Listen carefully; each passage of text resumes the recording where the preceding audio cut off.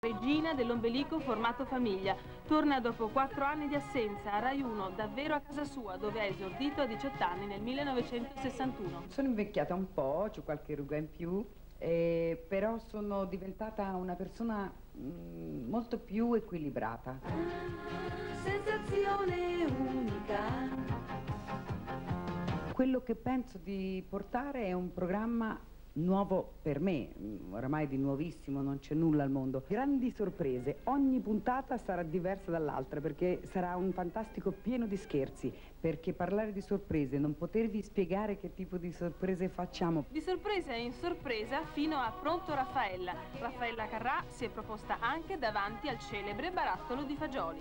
I telespettatori hanno una curiosità, ma tu i fagioli li mangi?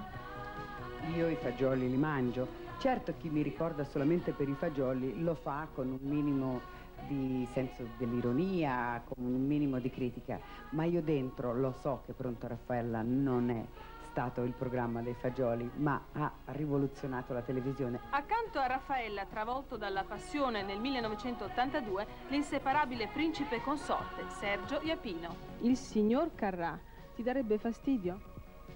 Eh, penso che darebbe fastidio più a lui sicuramente, ma mm, non c'è un signor Carrà perché io mi chiamo Pelloni.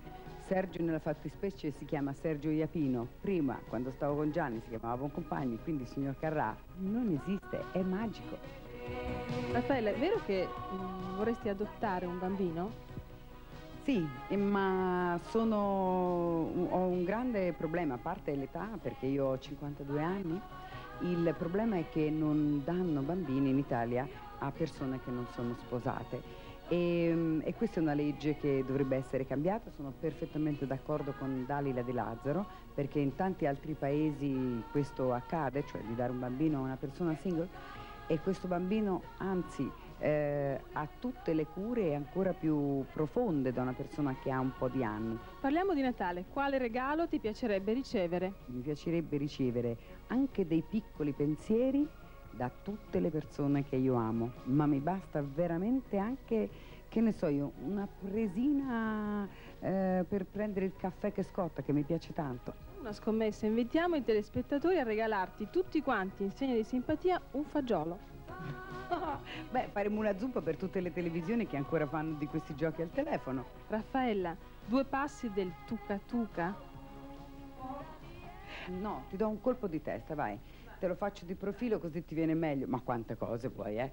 Mi piaci. Boom. Ah, ah. Allora, in...